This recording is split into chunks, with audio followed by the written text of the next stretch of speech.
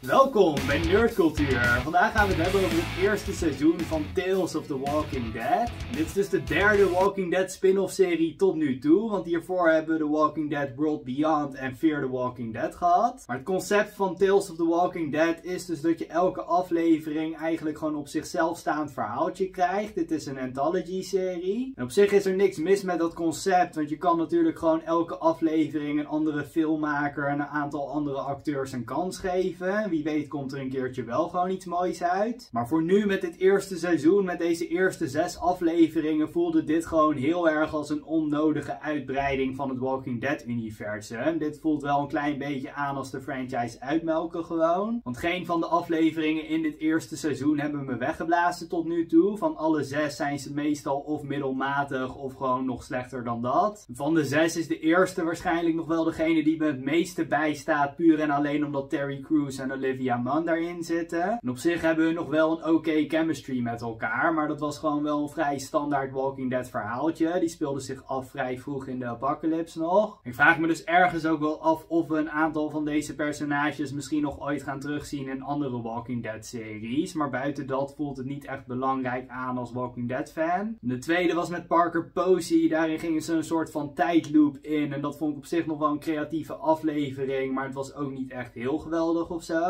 En de derde ging over een moeder met haar dochter. En alles wat ze deed om die dochter zogenaamd te beschermen. En de vierde speelde zich af wat verder in de toekomst. En die richtte zich dus echt op wetenschappers. Die zombies aan het onderzoeken waren en zo. Met de vijfde probeerden ze een soort van noir thriller. Met een guy die zijn geheugen soort van door de war heeft gehaald. Die niet meer precies weet wat er nou echt gebeurd is. En op welke volgorde en zo. Dat voelde gewoon een beetje aan als een slechte Walking Dead versie van Memento. En die wist dus ook niet helemaal te landen op de manier waarop hij het probeerde. En de laatste moet zogenaamd een soort haunted house verhaaltje zijn. Waarin er dus een stel langskomt bij een oude vrouw. En die oude vrouw per ongeluk doodgaat. En dan blijft ze dus in dat huis van die oude vrouw zitten. En ja, het is nou niet per se dat de afleveringen verschrikkelijk waren. Maar ze waren gewoon heel erg forgettable. Ik moest echt nog eventjes de lijst van afleveringen doorkijken voordat ik deze review ging opnemen. En omdat we ook al weten dat er gewoon een hoop Walking Dead spin-offs aan zitten te komen, voelt deze gewoon heel erg onnodig. En het voegt bijna niks toe aan Walking Dead als